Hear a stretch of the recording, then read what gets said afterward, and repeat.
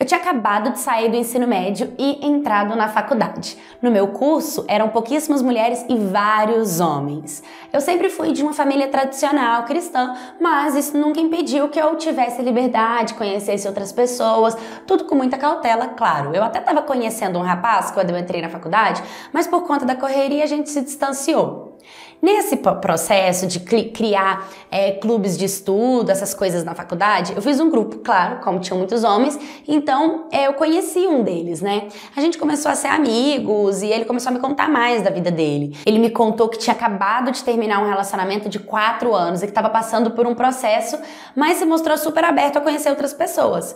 De acordo com o que nós íamos nos vendo na faculdade ficando, nosso meio que nossa convivência foi virando um relacionamento. De pouco, a gente estava praticamente namorando. Foi quando a gente estava ficando bastante, eu decidi apresentar ele aos meus pais. Ele foi até minha casa, e eu confesso que o meu pai não gostou nada dele, mas ele deixou o rapaz ir frequentando a minha casa. Ele sempre demonstrava bastante amor por mim, gostava muito de mim, e eu era muito feliz com isso, apesar de que a ex dele ainda tinha umas provocações que me deixavam insegura, mas ele tem, sempre tentava me provar que ele me escolhia e que era eu em primeiro lugar. O tempo foi passando, até que um dia eu liguei no telefone dele. Quem atendeu? Ela, pois é, achei super estranho, né? E ele me disse que ele estava tomando banho, que ela foi lá buscar umas coisas dela e quem abriu a porta foi a mãe dele e que ela entrou, pegou uns papéis e foi embora. E claro que eu acreditei nele, né? Ele me falou isso e a vida seguiu. Só que eu ainda sentia, sabe? Parece que a minha intuição tentava me contar, mas eu não tinha provas suficientes, não queria dar uma surtada louca, ciumenta, possessiva. Para poder me mostrar que eu realmente estava com ele, que ele sempre me preferia e não estava com a ex, ele decidiu me levar para conhecer os pais dele, né? porque ele conhecia os meus, eu não conhecia os pais dele ainda. Ele me levou. Cheguei lá, conheci a mãe dele, conheci o irmão, fui extremamente bem tratada, sabe? Gostei muito e me senti empolgada e feliz com isso, porque de certa forma eu vi que eu fazia parte da família, que realmente a ex dele não estava mais na vida dele, que era eu, né? Então eu me sentia mais confiante. E o tempo foi passando. Como eu disse, eu já era da igreja, então eu falei para ele: você tem que ir pra igreja comigo, é tradição de família e tal, né? ainda mais que meu pai é pastor. E ele começou a frequentar a igreja comigo.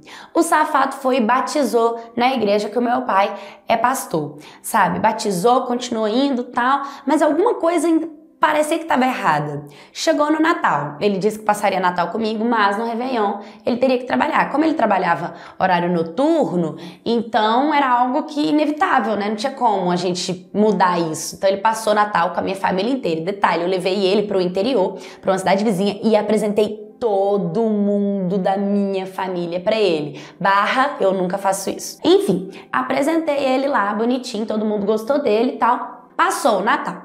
Quando chegou o Réveillon, ele foi, né, e falou que ia estar tá trabalhando, e beleza, eu passei Réveillon com a minha família. E ele foi, começou, falou que ia pra casa de um amigo, começou a me mandar foto e me mandou foto no espelho. Só que sabe quando você vê assim, que você fala assim, tem alguma coisa de errado? Tipo, não tá certo, parece que a sua intuição tá querendo te contar alguma coisa. E eu fico, gente, será que eu não tô dando uma de louca surtada, ciumenta? Não dei conta, fui stalkear a ex dele. Entrei no Instagram e comecei a procurar a foto dela, procurar, pei, em cima. Tinha uma foto dela naquele mesmo espelho que ele. Na hora já mandei foto, já foi uma briga. Aí foi horrível. Aí ele foi atrás de mim, falou que não era isso, que era mentira, que ele não tava lá, que eu tava surtada. Enfim, ele fez eu acreditar nele, não sei como, ele conseguiu me manipular. E eu acreditei nele, acreditei que realmente eu que estava errada dentro dessa situação que praticamente estava sendo esfregada na minha cara. Continuei com o relacionamento com ele e tal. Era janeiro ainda, mal tinha acabado essa briga do Réveillon. E eu fui e ele veio com uma mensagem para mim, falando assim para mim: que, ai, você não tem vergonha de fi ficar criando fakezinho sem foto no WhatsApp para te tentar me testar se eu sou fiel? Falei: hã?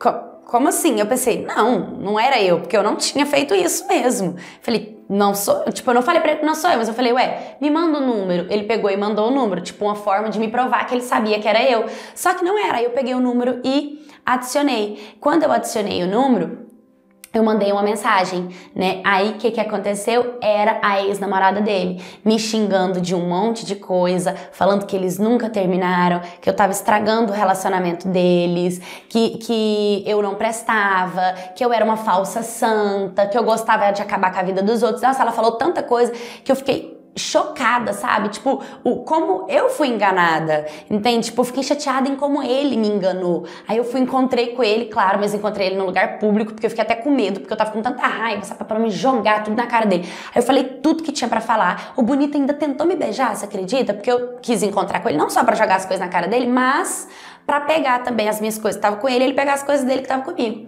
Eu fiquei morrendo de raiva dele, sabe? Falei pra ele que não queria mais nada, virei minhas costas e fui embora.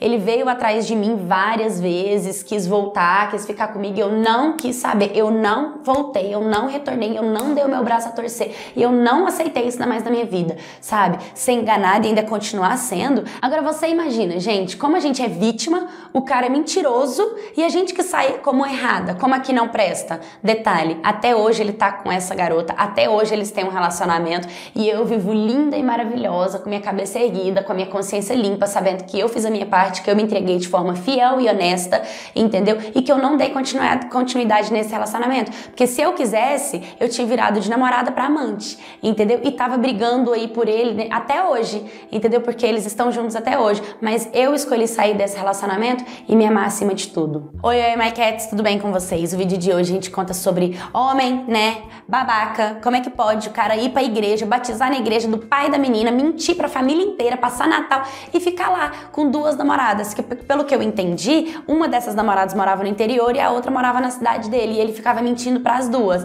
Ainda bem que ela conseguiu colocar um freio nisso, dar um chega pra lá nele, virar as costas e ó, se livrar desse tipo de homem. Porque é nessa situação, se você ama, se você tem Ama não. Se você tá carente ou se você tem dependência emocional, muitas das vezes você entra num, num looping de competição. Você começa a competir, entendeu? Com a outra mulher, com tanto homem maravilhoso no mundo querendo te encher de amor, você fica brigando por uma pessoa que não te dá nada, entendeu? Então é legal a gente ter sempre essa consciência, pra gente ter essas escolhas, não aceitar um relacionamento com duas pessoas, por mais que você ame incondicionalmente, coloque uma pedra em cima dessa história, segue a sua vida de cabeça erguida que ainda vai chegar uma pessoa pelo qual te merece. Deixa nos comentários o que você achou dessa história, me mande também essa história, curta, comenta, compartilha, se inscreva no canal, um beijo e até o próximo vídeo.